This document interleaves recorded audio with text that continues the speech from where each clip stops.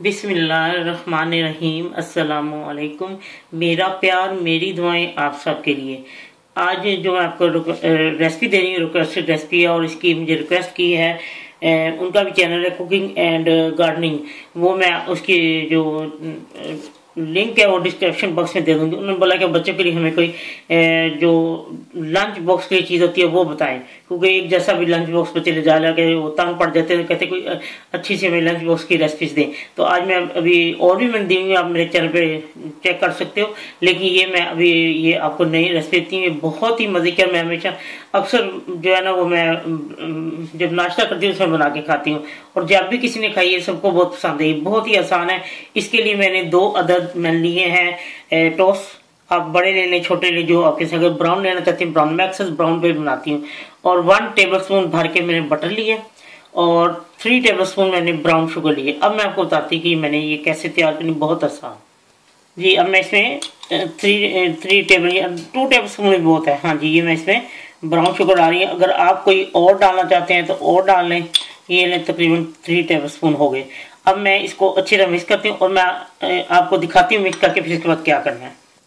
जी, ये देखिए मैंने अच्छी तरह मिक्स कर लिया। मैंने मक्खन को थोड़ा ज़रा गर्म कर लिया था ना, और अब मैं आपको बताती हूँ कि इसके ऊपर मैंने ब्रेड के ऊपर, मैंने पैन भी उधर गर्म किया फ्राई पैन अब मैं इसके ऊपर लगाती हूँ। अच्छी तरह लगा के मैं आपको दिखाती हूँ। जी, ये देखिए मैंने एक तरफ़ लगा लिया। अब इसको अच्छी तरह मिक्स करना है कि थोड़ी सी चीनी घुल जाए, और अब मैं इसमें इस तरह रख देती हूँ दरमियानी आँच पे।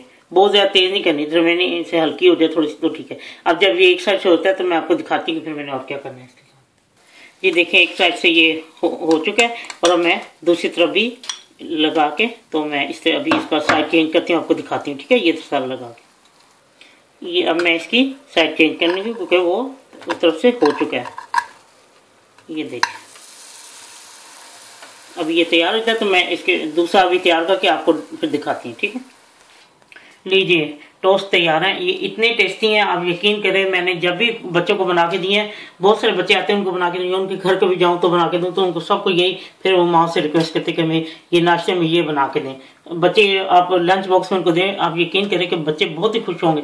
हम बचपन में जब स्कूल जाते थे हमारी माँ हमें हफ़्ते में दो दफ़ा चीनी वाला पराठा बना के देती थी। सेम वही है। तो उसमें उसमें इतनी मेहनत होती है इसमें तो इतनी मेहनत भी नहीं है। बस चीनी और मक्खन को आपने मिक्स करना अगर आप उसमें मक्खन नहीं मार्जिन लगा कर सकते हैं। इस तरह मतलब आपने तो, कोई चीज़ फ्राई पैन में डालनी कोई तेल इसमें ही आप वो रोस्ट हो जाएँगे। और बहुत ही टेस्टी होते हैं। आप यकीन करें एक दो जब आप भी खाएँगे ना तो आपका दिल जाएगा ये नाश्ते में या टी टाइम पे बहुत अच्छे रहते हैं। आप मेहमानों के लिए टी टाइम पे बना सकती हैं। किसी भी शेप में, दिल की शेप या कोई कुकी कटर से काट के आप कोई शेप देखने को बनाए। मेहमान भी खुश होंगे, बहुत अच्छे लगते हैं।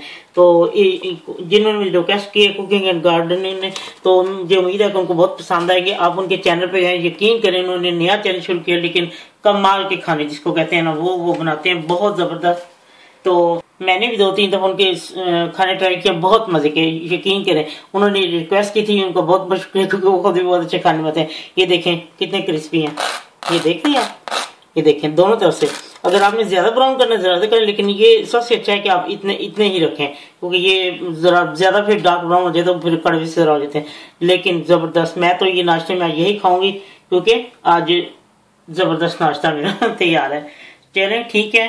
खाएँ और मुझे ज़रूर बताएँ कि आपको ये कैसे लगे हैं। जब आपका दिल चाहे, आसान और मज़ेदार खाना खाने को तो आइए ना रिदा के किचन में। अगर आपको भी कोई रिक्वेस्ट करनी है या कोई आपको चीज़ अच्छी थी आप ज़रूर रिक्वेस्ट करें, मैं आपको ज़रूर बना के दूँगी। प्लीज़ सब्सक्राइब करना लाइक करना और कमेंट्स देना ना भूलें।